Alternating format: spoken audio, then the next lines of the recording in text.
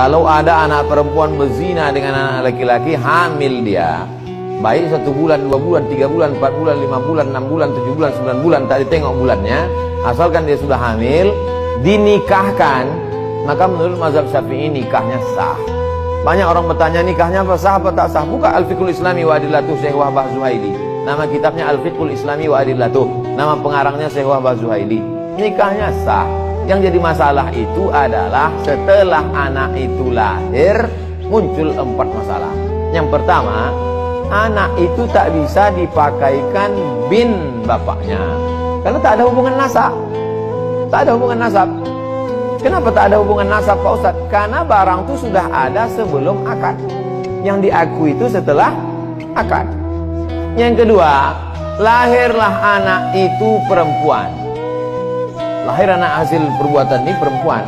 Lalu kemudian si bapak ini tak bisa menikahkannya jadi wali. Karena yang jadi wali itu kan yang ada hubungan nasab. Dia tak ada hubungan nasab, maka tak bisa dia jadi wali. Walinya siapa? Fasultanu waliyun wali man la waliyalaha yang menjadi walinya adalah sultan. Tapi karena kita tak lagi tinggal di negara kesultanan, maka dulu janji sama Presiden Soekarno dibuatlah namanya Departemen Agama yang sekarang menyebutnya Kementerian Agama. Itu pengganti sultan dalam urusan agama. Yang ketiga, meninggal si bapak ini, anak itu tak dapat warisan karena mereka tak ada hubungan nasab.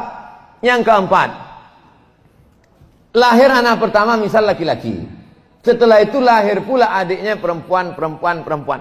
Maka si abang ini tak bisa jadi wali adiknya. Karena dia bukan saudara seayah.